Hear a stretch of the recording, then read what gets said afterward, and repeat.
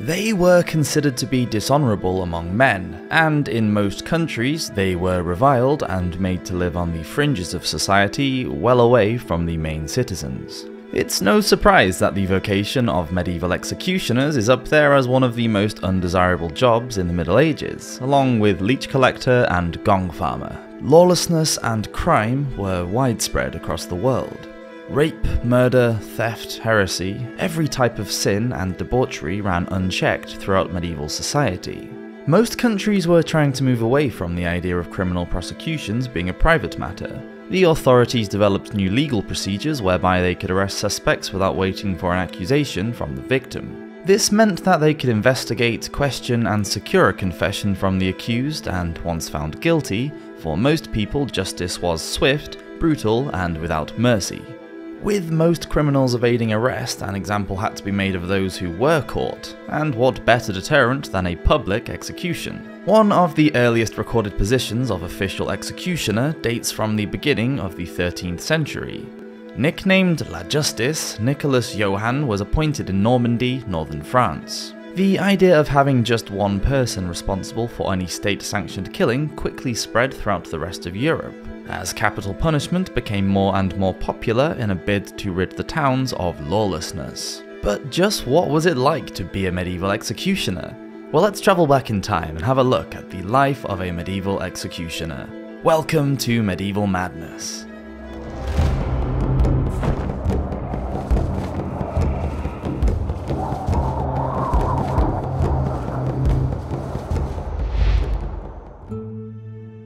It's a dirty job, but somebody has to do it. It was William the Conqueror who reintroduced beheading to Britain as an official form of execution. Convicted of treason for his part in the Revolt of the Earls, Waltheof, Earl of Northumbria, was beheaded with a sword in May of 1076 on St Giles Hill near Winchester. But the majority of beheadings took place in the capital, at the Tower of London, and at Tower Hill just outside the walls, because it was the main prison for high-born traitors. In fact, a permanent scaffold stood on Tower Hill from 1485 for those who might not necessarily have betrayed their country, but had just really annoyed the reigning monarch in some way. For commoners found guilty of high treason, the punishment was far less dignified and much more brutal. Low-born men were hanged, drawn and quartered, and low-born women were burnt at the stake. Simply put, there were two types of beheadings, by axe or by sword. Either way, the prisoner would be blindfolded so that they did not see the weapon bearing down on them and at the crucial moment flinch or move. Execution by axe meant that a wooden block, often shaped to accept the neck, would be used. The prisoner would kneel and lean forward so that their neck rested on the block, with the head being in a downward position. With the neck prominent, there was a better angle for the stroke of the axe, in Britain, the traditional woodsman's axe was used, usually with a blade about 20 inches long, 10 inches wide, and with a 5 foot long handle. By sword, the person was made to kneel down, or if they were particularly short, it could be done whilst they were standing up. Most European swords were over 3 feet long and weighed over 4 pounds. Both the axe and the sword had handles long enough for the executioner to use both hands, giving him the greatest control. The desired outcome was that the head was severed with a single blow, and if carried out correctly, it was a humane method of capital punishment. Unfortunately, this was not always the case, because the vertebra and muscles in the neck are strong, and it might take several blows to completely separate the head from the body. Mary, Queen of Scots, who was executed for treason during the reign of Elizabeth I, found herself on the other end of a botched beheading in 1587. The first strike missed and hit her on the back of the head, the second severed her neck, but it took a third blow to completely decapitate her. Margaret Pole, the Countess of Salisbury, was executed under the orders of Henry VIII in 1541 for plotting against the king and supporting Catholicism. She had to be dragged to the block and have her neck held there by force. The more experienced executioner had been sent to the north to deal with rebels, and poor Margaret was left to the mercy of an inexperienced boy to carry out the sentence probably felt similar to when they give you an apprentice hairdresser. The French ambassador who witnessed the spectacle reported that the youth, quote, hacked her head and shoulders to pieces in the most pitiful manner. Apparently, it took 11 strikes before she was pronounced dead.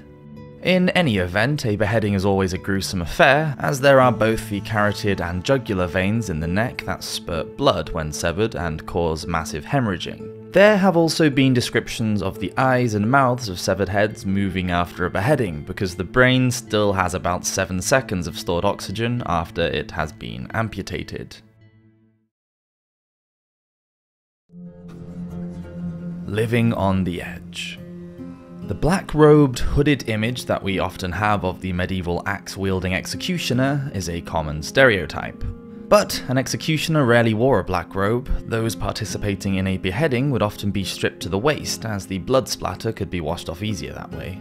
And wearing a hood to preserve anonymity was pointless, everyone in the area knew who the executioner was. It was a job that no one wanted, when all was said and done, whether it was by beheading, hanging, or burning, the executioner was believed to be a disturbed individual, ready and willing to take a life on command, sinner with no chance of salvation. Many found the position thrust upon them, passed on from father to son, because the whole family was reviled, and any children of an executioner were unable to get honest work as the guilds refused them entry. Others were convicted criminals themselves who were willing to take on the job of killing others to have their own capital sentence overturned. In almost every culture, the medieval executioner was ostracized and detested by society. In most countries, they had to live with their families away from everyone else. In France, they had to wear a red or yellow coat that singled them out as dishonourable.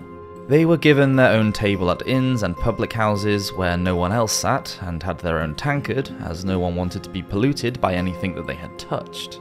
In Germany, they were particularly hated, and in Strasbourg, they were denied Holy Communion and made to stand at the back of the church during services. Even their graves were separated from the rest of the citizens. In England, you could actually be awarded compensation if you were mistaken for an executioner, and in Spain, his house was painted red and his fee was thrown at him rather than handed to him. Everyone feared contamination from direct physical contact with such a dishonourable man. For Spaniards, the garrote was the chosen method of execution. It involved the prisoner being restrained in a high backed chair, a metal band placed around the neck. The executioner would stand behind and tighten the band with a crank until asphyxiation occurred.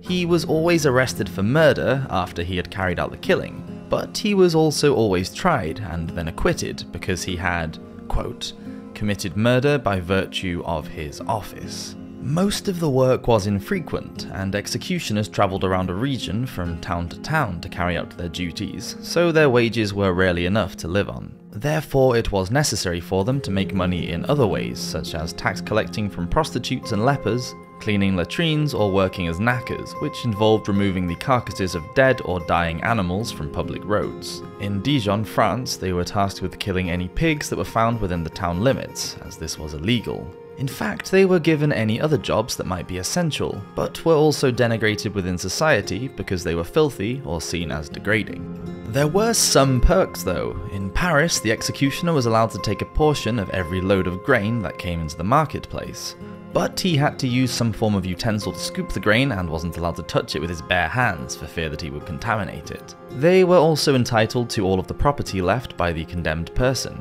A headsman was expected to carry out their job in a professional manner for fear of being accused as cruel or incompetent. Failure to achieve a successful beheading, such as taking more than three swings of an axe or sword, could have dire consequences. Unsatisfied spectators have been known to attack an inefficient executioner, if he survived the assault, he would be financially punished by the loss of his fee and might even face imprisonment or be removed from his position. Hanging. For violent crimes that were committed openly, such as murder, the typical punishment was beheading, but for crimes that were deemed more treacherous, sneaky, and cunning, such as theft and treason, punishment would often be hanging. The authorities could then decide what form of hanging was the best for the committed crime. Should a rope be used, or a chain? Should the prisoner be hanged, drawn, and quartered? How long should the body be exposed on the gallows and left to rot as an example for all to see? Almost every medieval town or village had a permanent gibbet where public executions could be carried out, usually on higher ground whereby everybody could get a good view. It was rare to find a gibbet that did not have a skeleton or corpse dangling from it, left to decompose as a warning for others. The executioner would climb up a ladder and tie the rope to the crossbeam. The noose would be placed around the prisoner's neck, and he or she would be suspended and strangled to death. The prisoner or their family might actually be expected to pay for the rope themselves, or the executioner might even buy it so that he could sell it later as a souvenir, or display it in the local pub for a small fee. It wasn't until the 19th century that the long drop method was used at hangings. This was a more humane technique, as it instantly broke the neck, making death instantaneous rather than the slow process of strangulation.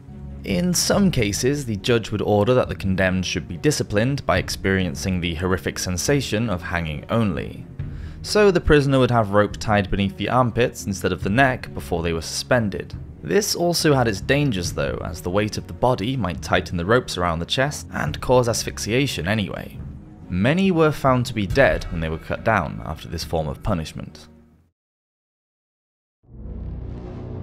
A dirty business. In order to protect himself from being accused of murder, the executioner would always present his warrant, a license that permitted him to execute the sentence of death. Today, we can find it undesirable that the occupation of an executioner was so despised. Taking another life, no matter how vile or sinful that person may be, will always seem abhorrent. Being an outcast from society pushed him into earning money from all the degrading jobs that no one else was willing to do. The job of medieval executioner was a solitary and gruesome life, but it was better than being on the other side of the axe. I do hope you've enjoyed this video, and please be sure to subscribe as we do release videos every week. Cheers!